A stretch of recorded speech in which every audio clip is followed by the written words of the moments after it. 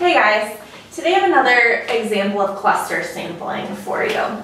So let's say we wanted to pull survey students at our school and I didn't want to go into every classroom and pull two students out. That would be stratified sampling and I didn't want to randomly sample all the students and have to go hunt them all down. In um, respect to convenience, what we're able to do is use cluster sampling, and it's still a random way um, that can get you some results that you want.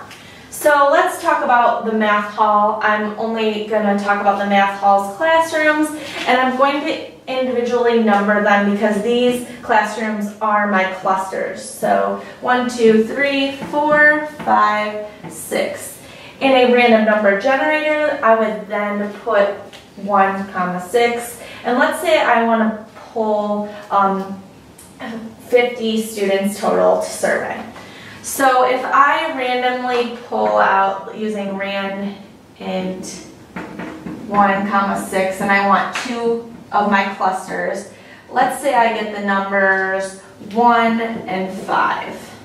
So one and five are my chosen clusters. That means the 25 students in classroom one and the 25 students in classroom two are going to join together to make my complete sample of 50.